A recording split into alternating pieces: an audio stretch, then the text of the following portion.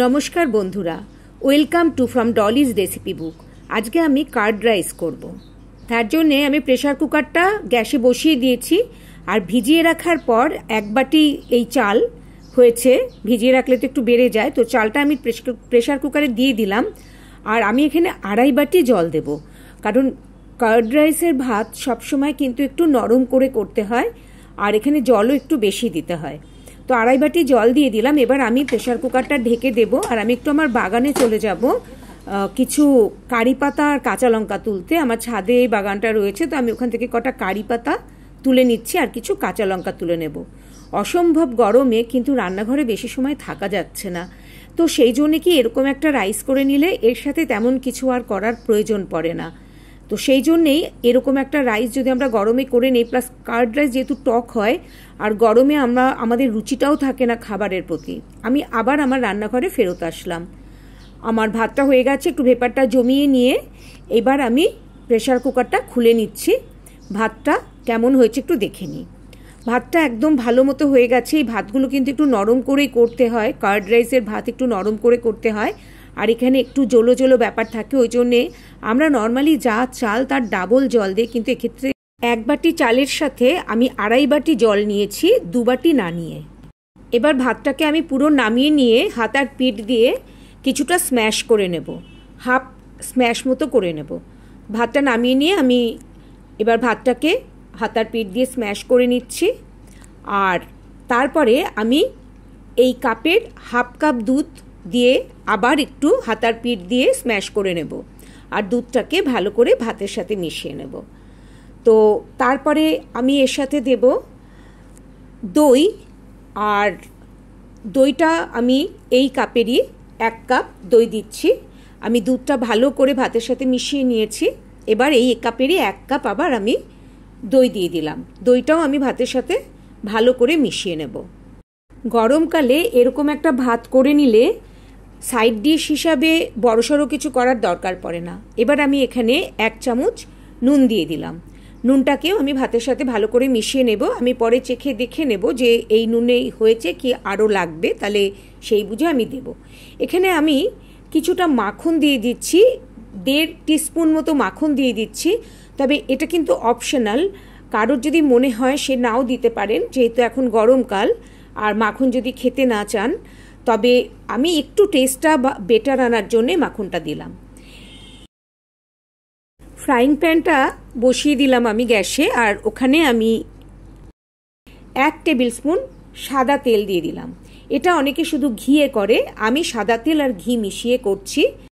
আবার কেউ শুধু তেলেও করে। টু টিস্পুন ঘি আমি এখানে দিয়ে দিলাম আর ওয়ান টেবিল স্পুন আমি সাদা তেল দিয়েছি। তেলটা গরম হয়ে গেছে। এবার আমি টু টিস্পুন সর্ষে দিয়ে দিচ্ছি আর ওয়ান টিস্পুন আমি এখানে জিরে দিয়ে দিলাম। আমি বিউলির ডাল বা কলাইয়ের ডাল আমি ভিজিয়ে ভিজিয়ে মানে আমি ধুয়ে রেখেছিলাম, সেটা দিয়ে দিলাম, এটা ওয়ান টেবিল স্পুন আর ওয়ান টেবিল স্পুন ছোলার ডালও আমি ধুয়ে রেখেছিলাম, সেটাও আমি এটার মধ্যে দিয়ে দিচ্ছি। দিয়ে এবার আমি একটু ভালো করে নেড়ে চেড়ে নেব ওইগুলোকে তো একটু ভালো করে নেড়ে চেড়ে নিয়ে এবার আমি এর মধ্যে দিয়ে দিচ্ছি আদা আমি মানে লম্বা করে ঝিরিঝিরি করে কেটে রেখেছিলাম। তো সেটা এক স্পুনের একটু বেশি হবে, সেটা আমি দিয়ে দিলাম, দিয়ে আবার মিশিয়ে নিলাম। এবার আমি এক টেবিল স্পুন নারকেল কোড়া দিয়ে দিলাম এর মধ্যে। নারকেল কোড়াটা দিলে টেস্টটা ভালো আসে। নারকেলটা আমি কাঁচা ভাবটাও রাখব না, আবার একদম ব্রাউন করেও ভাজবো না। একটু কাঁচা ভাবটাকে আমি সরিয়ে নেব। তো এটাও, এগুলোকে সব কটাকে ভালো করে মিশিয়ে আমি একটু নাড়াচাড়া করে নিলাম। আর এবার আমি চারটে শুকনো লঙ্কাকে মানে দুভাগ করে দিলাম। তবে এটা কিন্তু যার যার টেস্ট অনুযায়ী দেবেন, আমরা ঝাল একটু বেশি খাই, তাই আমি চারটে দিলাম। এখানে দুটোও দিতে পারেন, আর না চিড়ে ওটা আপনারা আস্ত দিয়ে দিতে পারেন। এখানে আমি পনেরো কুড়িটা মতো কারি পাতা দিয়ে দিলাম, যেটা আমার গাছ থেকে তুলেছিলাম। আর লঙ্কা ছটা কাঁচা লঙ্কা আমি কিন্তু এখানে কুচিয়ে দিয়েছি, সেক্ষেত্রেও আপনারা আপনাদের টেস্ট মতো দেবেন। তো এবার আমি হিং দিয়ে দিচ্ছি ওয়ান ফোর্থ টিস্পুন হিং দিয়ে এবার আমি সব কটাকে খুব ভালো করে নেড়ে চেড়ে নিচ্ছি। এখানে আমি একটু লবণও আবার দিয়ে দিলাম, কারণ ভাতে আমি কিছুটা লবণ দিয়ে রেখেছি, কিন্তু এই তরকাটার মধ্যে সব ইনগ্রেডিয়েন্টে যাতে ঠিক করে লবণ যায়, তার জন্য আমি এর মধ্যে অল্প করে হাফ টিস্পুন মতো নুন আমি এখানে দিয়ে নিলাম। দিয়ে ভালো করে এটাকে নাড়াচাড়া করে আমি তরকাটাকে ভেজে নিচ্ছি। এবার তরকাটাকে মোটামুটি ভাজা হয়ে গেছে, এটা ভাজা হয়ে এসেছে। আমি এবার এটা ভাতের মধ্যে ঢেলে দেব। ঢেলে আমি এই ভাতের সাথে মিশিয়ে নেব ভালো করে। তো তরকাটা ঢেলে আমি এবার ভাতের সাথে এটাকে ভালো করে মিশিয়ে নিচ্ছি।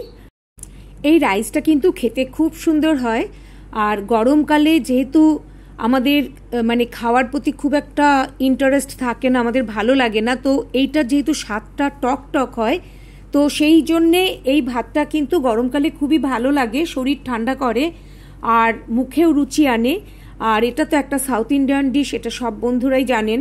আমি এর মধ্যে এবার একটু ধনে পাতা দিয়ে দিলাম, দিয়ে ওটাও ভাতের সাথে মিশিয়ে নিচ্ছি। সাউথে যেহেতু গরম বেশি পড়ে তো সেই জন্যে ওখানের এটা কিন্তু সাউথের খাবার। কিন্তু বর্তমানে আমাদের বাংলাতেও যে পরিমাণ গরম পড়ছে, তাতে করে কিন্তু এখন এটাও আমরাও, এটা আমাদেরও খাবার হয়ে গেছে। আর এবার আমি একটু কাজু ঘি দিয়ে দিলাম ফ্রাইং প্যানে, একটু কাজু ভেজে নেব। আমি এই রাইসে দেব বলে, কিন্তু এটা অপশনাল, কারণ যেহেতু এখন প্রচণ্ড গরম, সেই জন্যে এটা কিন্তু আপনারা স্কিপ করতে পারেন। আর এর মধ্যে আমি একটু নুন দিয়ে দিলাম। তো সেই হিসাবে আপনারা কিন্তু স্কিপ করতে পারেন। তো আমি একটু টেস্টের জন্যে অল্প করে কটা কাজু ভাতের উপর ছড়িয়ে দেব। তো আপনারা একবার এই রাইসটা কিন্তু খেয়ে দেখতে পারেন। আমি ভাতের উপর আমার কাজু ভাজা হয়ে গেছে, সেগুলো দিয়ে দিলাম। দিয়ে একটু জাস্ট ওপরে গার্নিশ মতো করে দিলাম। আর এবার আমি এখানে একটু ধনে পাতাও দিয়ে দিচ্ছি। আর একটু কাঁচা লঙ্কা, লাল কাঁচা লঙ্কা আমি কুচিয়ে রেখেছি। আমি সেটাও গার্নিশিংয়ে একটু দিয়ে দিচ্ছি। তাহলে বেশ লাল, সবুজ সব দিয়ে ভাতটা আরও দেখতে খুব সুন্দর হবে, কারণ দেখার উপরে আমাদের খাওয়ার ইচ্ছাটাও নির্ভর করে। আমার ভাতটা কিন্তু কমপ্লিট হয়ে গেছে। এবার আমি একটু এটা ফ্রিজে রেখে দেবো এক ঘণ্টার জন্যে, কারণ এটা বেশ ঠান্ডা ঠান্ডা খেতে ভালো লাগে। তো সাইড ডিশ হিসাবে না, আমি ঝট করে একটু বেগুন ভেজে নিচ্ছি। এটা আমি আর কিছুই করব না, জাস্ট এই বেগুনটা ভেজে এর ওপর একটু স্পাইস ছড়িয়ে দেবো, একটু টেস্ট মেকার দিয়ে দেবো। তো আমি এইভাবে বেগুনটা ভেজে নিলাম। আর এখানে এবার আমি একটু লঙ্কার, শুকনো লঙ্কার গুঁড়ো দিয়ে দিচ্ছি। আর একটু দিয়ে দিচ্ছি এখানে চাট মশলা। আর এর সাথে আমি গন্ধরাজ লেবু গরমকালে এটা খুবই ভালো লাগে, সেটার রস আমি একটু ওপরে ছড়িয়ে দিচ্ছি এই বেগুনের ওপরে। আর একটু শশা কুচি করে নিয়েছি, সেখানেও আমি একটু চাট মশলা দিয়ে দিলাম। আর একটু বিট লবণ দিলাম চাট মশলাতে কিন্তু প্রচুর নুন থাকে। তো আর আমি একটু গন্ধরাজ লেবুর রস দিয়ে দিলাম, আর একটু শুকনো লঙ্কার গুঁড়ো আমি এখানেও দিয়ে দিলাম, দিয়ে শশাটার মধ্যে একটা টেস্ট মেকার হিসাবে এগুলো ইউজ করলাম। রান্নাটা যদি ভালো লাগে, তাহলে সাবস্ক্রাইব করে আমার পাশে থাকবেন।